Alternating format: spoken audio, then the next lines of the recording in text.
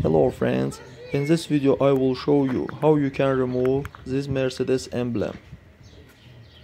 Friends, but before starting the video, subscribe to our channel, put like and don't forget to put a bell so as not miss new video on the channel.